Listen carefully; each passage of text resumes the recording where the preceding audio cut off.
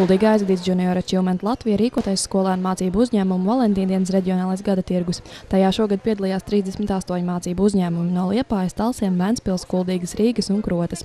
Kuldīgas centra vidusskolas ekonomikas skolotāja Indrīvita Gaila atklāja, ka preču un pakalpojumu klāsts nav krasi mainījies, tomēr nākuši klāt pavisam jauni uzņēmumi. Viņa atzīst, ka dibinot šādus uzņēmumus, skolēni paplašina savas zināšanas un gūst pieredzi nākotnē. Notiek izmaiņas darba tirgu. Mums ir jābūt gataviem, pareizāk sakot, jauniešiem ir jābūt gataviem, ka viņiem pašiem jārada sev darba vieta, vai arī jāpiedāvā vēl kādam citam darba vieta. Ne visi no viņiem kļūst par uzņēmējiem, bet tās prasmes tās var noderēt jebkurā darbā. Un mēs šobrīd aizvien vairāk varam lasīt par to, ka Lielākā daļa augstskolu visās savās programmās iekļauj mācību priekšmetu ekonomika, uzņēmēja darbība, uzņēmēja spēju, apguve, prasmes, kas var vienkārši noderēt dzīvē tālāk nākotnē.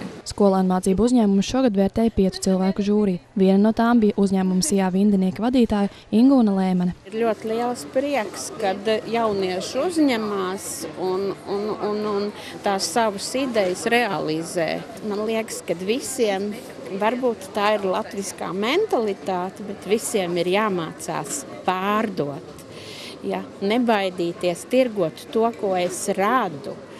Un, un, un tas ir, man liekas, ļoti liels klupšanas akmens visiem. Arī paši uzņēmumu pārstāvji atzina, ka viņiem patīk komunicēt ar cilvēkiem un piedāvāt preces vai pakalpojumus. Jaunākais skolēnu mācību uzņēmums, kurš darbojas vien divas nedēļas, pieder meitenēm no Ventspils jaunradas nama. Viņu uzņēmums saucas Mācies domā dari.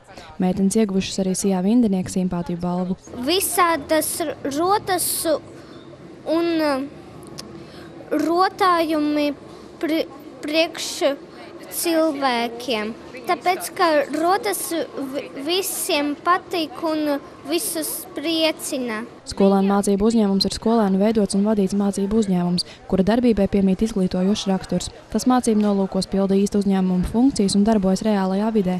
Skolēni ražo un pārdod preces vai pakalpojumus. Skolēnu mācību uzņēmumam nav juridisks status. To pārstāv Junior Achievement Latvija un skola.